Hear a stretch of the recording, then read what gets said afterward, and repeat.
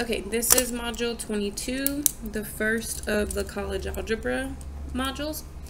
So this, uh, this first topic says finding the area of a triangle or parallelogram in the coordinate plane. What is the area of the parallelogram?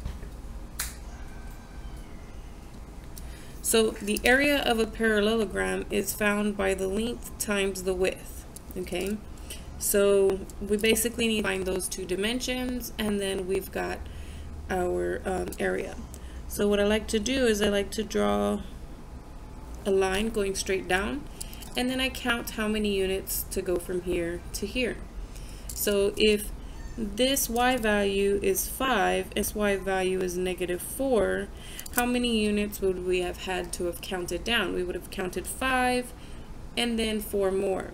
6, 7, 8, 9. So 9 units for the length or width, depending on whether it's shorter or fatter. We don't necessarily know. Um, and then to, to catch the width, you're just going to go from one dot, one dot here to the next dot over there. And so how much has passed there?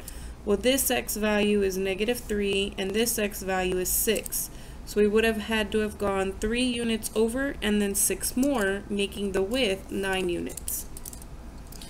So when we multiply these together, we get that the area of the parallelogram is 81 units squared. However, we don't know what the units are, so we don't need to use a measurement. We can just use the numerical value for the 81. Now, the same thing here for the area of the triangle. So the area formula for the area of a triangle is 1 half times the base times the height.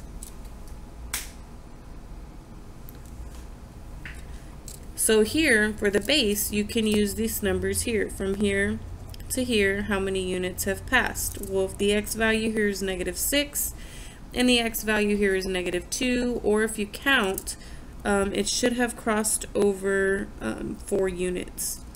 So 1 half times 4 units to get from negative 6 to negative 2. However, the height is from the peak until it hits the base. So I need to calculate from this y value of 6 to this y value of negative 3. So it would have gone 6 units and then 3 more, making the height 9 units total. Now if I multiply this, um, you do have to go from left to right. So 1 half of 4 is 2, and then 2 times 9 is 18. And again, it would be squared units, but because we weren't given units, you are fine to leave the units off and just give the numerical value. Here is another topic, the distance between two points in the plane, and here they want the exact answers.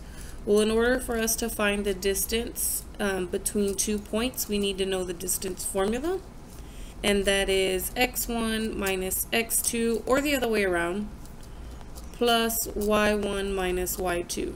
Again, or the other way around. All you need to do is figure out the dis the the measurement between them okay?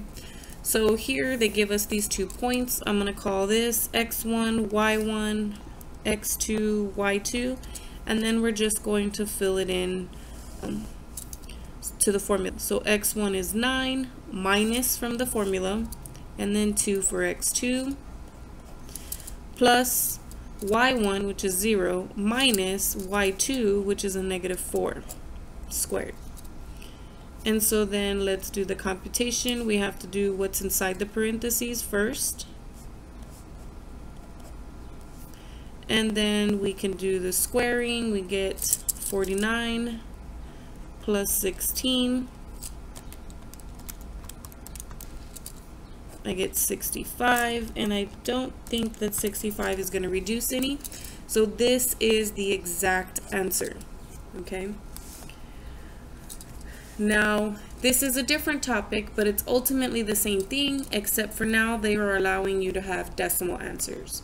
So instead of leaving your calculator like that, you would just hit the decimal button and then you have the decimal answer.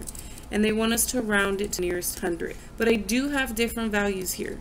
So I'm going to call this one x1, y1, x2, y2, and then go ahead and plug everybody into my formula. So we have negative 8 minus negative 2 squared plus 5 minus 8 squared. So in this parentheses, this turns to plus, which gives me negative 6 squared. Here I get negative 3 squared. So we get 36 plus 9, which is 45. But they don't want the exact answer, so I can type in square root of 45 and tell it to give me the decimal. And I need to round to the nearest hundredth, tenths, hundredths. Well, the 8 is going to affect that 0. So this rounds to 6.71 units.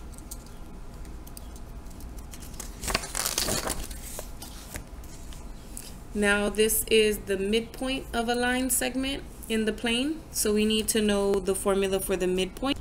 The midpoint is, notice it's a capital M, not a lowercase m like we use for um, slope. It's a point, okay? And so what you want to do is you want to find halfway between the x values and halfway between the y values. So we need to use this formula to figure out the x value. And we need to use this formula to figure out the y value. So then in this case, I'm going to call this one x1, y1, x2, y2, and plug them into the formula. So 4 plus a negative 2 over 2 um, negative 2 plus a negative 6 over 2. So this becomes um, 2 over 2. This becomes negative 8 over 2. And so the value I get is 1 and negative 4. So if I look at this, 1 and negative 1, 2, 3, 4 would be right here, which visually does look like the middle of that line segment.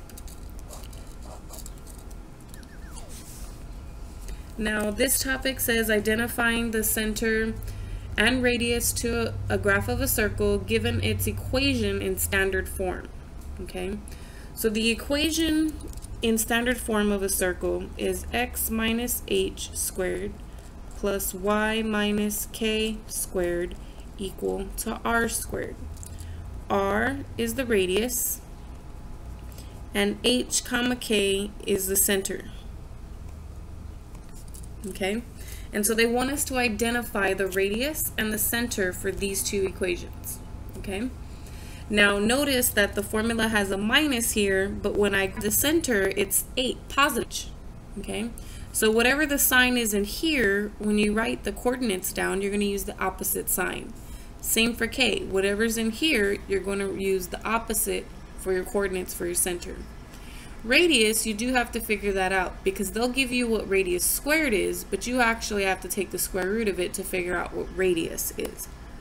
So for example, this one here, h is equal to a positive 3, k is equal to the opposite of that, which is a negative 4. Here, r squared equals 4, but that means r would have to equal 2. The square root of 4 is 2. It does not make sense to have a radius of negative 2 because the radius is a distance and negative distance is does not make sense. So then my center is going to be the coordinates 3 comma negative 4 and my radius is going to be 2. Similarly over here, but notice that I don't have the parentheses. So you can write the parentheses there and it's the same as saying x minus 0 and y minus 0. So if you don't see a number inside the parentheses, that just means that your h is going to be 0 if there's no, no parentheses around the 8x, and your k is going to be 0 if there's no parentheses around the y. Your r squared is equal to 9, which means r would have to equal 3. So your center is 0, 0, which is the origin, and your radius is equal to 3.